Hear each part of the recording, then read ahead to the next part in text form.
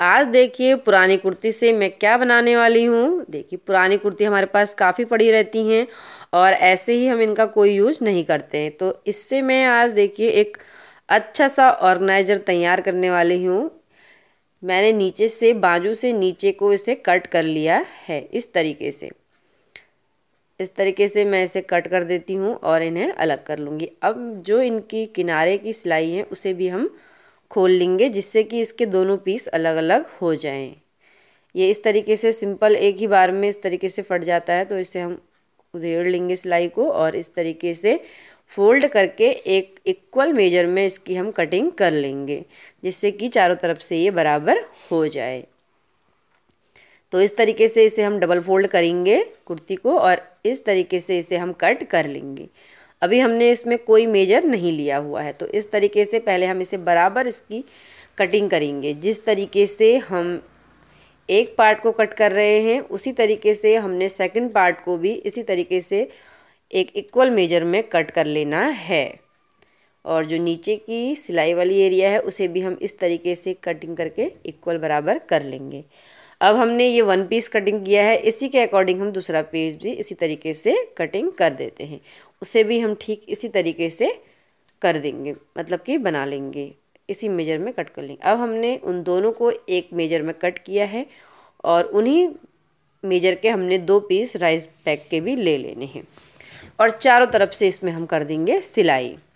दोनों पीसों को मैंने इस तरीके से कट करके देखिए राइस बैग के संग रेडी कर लिया है और एक साइड से मैंने जो लंबी वाली साइड है, उस साइड से मैंने इस पर सिलाई लगा दी है। ये सिलाई मैंने इसलिए लगाई है क्योंकि मैं इस पर लगाऊँगी चैन। चैन मैं किस तरीके से लगाऊँगी? चैन मेरी पूरी रेडी है लगाने के लिए तो मैंने केवल क्या करना है, बस इस पार्ट को इस तरीके से लेना है और सुल्टी साइड को ऊपर ही करते हुए इस तरीके से चैन को इसमें हमने अटैच कर देना है। हम इसमें दो सिलाई रखेंगे, एक सिलाई से हम इस तरीके से सिलाई रखेंगे और दूसरे में इसको हम पेस्ट कर देंगे ताकि हमारी जो चेन है वो इधर उधर ना खिसके। तो दोनों में मैं इसे चैन को लगा के आपको दिखा देती हूँ। तो मैंने देखिए इस तरीके से ये चैन को लगा करके इसके अंदर रनर डाल दिया है। अब इसे हम इस तरीके से लेंगे और नीचे वाली जो हमारी खुली साइड थी उसे भी हम इस तरीके से सिल देंगे। अब मैंने देखिए इसे भी सिल दिया है। सिलने के बाद हमने इसे कुछ इस तरीके से फोल्ड करना है कि जो चेन वाली एरिया है वो इस तरीके से यहाँ पे आए। ऊपर करीब हम पाँच इंच, साढ़े पाँच इंच आप ऊपर को छोड़ेंगे। इस तरीके से मैंने पाँच से साढ़े पाँच इंच ऊपर को छोड़ दिया है और इसे एक इक्वल शेप में इस तरीके से कर दिया है। ये मेरा पाँच इंच के करीब मैंने छोड़ दिया है ऊपर को। और इसी तरीके से आप भी जो जहाँ पर चैन वाली एरिया है, उसे हम इस तरीके से रखेंगे। और अब हमने क्या करना है? अब हम इसे थोड़ा पिनअप कर लेंगे, जिससे कि हमारा इधर उधर हिले डुले ना। क्योंकि अब हम इसकी लेंगे मेजर अब हमने किस तरीके से इसे बनाना है, वो मैं आपको दिखाती हूँ। तो आप देख सकते हैं, इस तरीके से हम इस पर चार बाय चार इंच का एक बॉक्स तैयार करेंगे और उस बॉक्स को हम करेंगे कट ये बॉक्स हमने चार इंच लंबा और चार इंच चौड़ा रखना है और उसी में हम इसे कट कर देंगे। इसी में रखते हुए हम इस साइड भी देखिए, इस तरीके से हमने पहले रखा है, फिर इस तरीके से हमने इसकी कटिंग की है तो इसी तरीके से मैं इसे रखूँगी और इस तरीके से इसे कट कर दूँगी।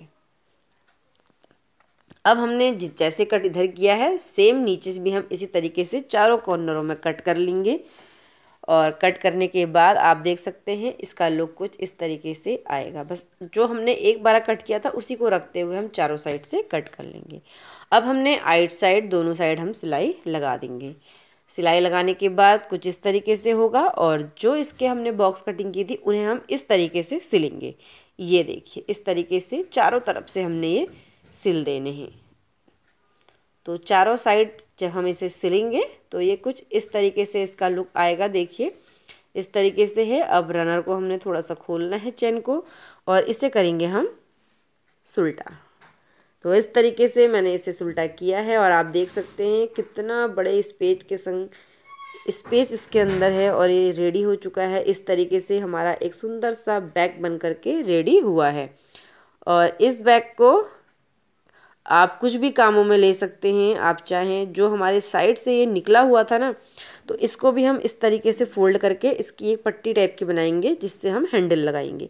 और इस हैंडल को हमने देखिए इस तरीके से पहले हम इसे फोल्ड करेंगे। और इस तरीके से हमने यहाँ पर इसे लगा करके यहाँ पे इधर पे और इधर से दोनों हैंडलों को हम इस पर लगा करके रेडी कर लेंगे। और अब हम देखिए इसमें आप ढेर सारे कपड़े रख करके रेडी कर सकते हैं। तो मैं इसमें आपके इसमें कम से कम सात आठ जोड़े से भी दस जोड़े कपड़े कम से कम आ जाएँगे। और आप इसे कहीं ले जा भी सकते हैं, वरना आप इसमें कपड़े स्टोर करके अपने अलमारी वगैरह में इसे सेव करके जिसमें धूल ना लगे, इस तरीके से रख सकते हैं। तो आपको ये आइडिया कैसा लगा ज़रूर बताना और वीडियो पसंद आए तो लाइक करना और सब्सक्राइब करना। कमेंट करके मुझे ज़रूर बताना। तो इस तरीके से देखिए मैंने चैन लगा करके बिल्कुल कंप्लीट कर दिया है। अब ये कितना सुंदर बैग बन के रेडी हुआ है वो आप खुद ही देख सकते हैं। तो आइडिया जैसा भी लगा हो, प्लीज़ लाइक करना।